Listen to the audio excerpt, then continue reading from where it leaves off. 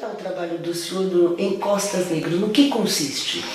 Ele é um trabalho é, sobre o tráfico atlântico de escravos para o Rio de Janeiro e ele está baseado em inúmeras fontes.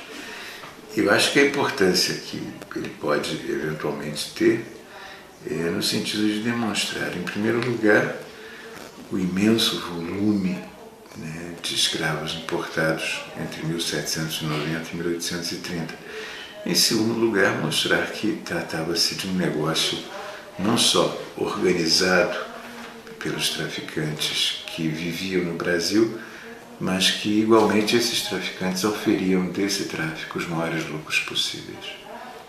E desse, de, desse estudo do século XVIII e XIX, uh, que influências o senhor vê da, da escravidão na, ainda na atualidade? Que impactos isso ainda tem hoje na nossa relações sociais?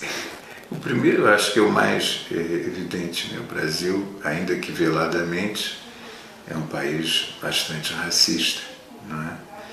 Agora, eu acho que há outro aspecto que também nos constitui uma refinadíssima é, visão afro do mundo. Quer dizer, uma coisa mais enérgica, uma coisa mais vital que poucos países têm. E além do mais, é, eu acho que essa miscigenação também é muito própria do Brasil e dela o negro africano faz parte absolutamente ativa. Né?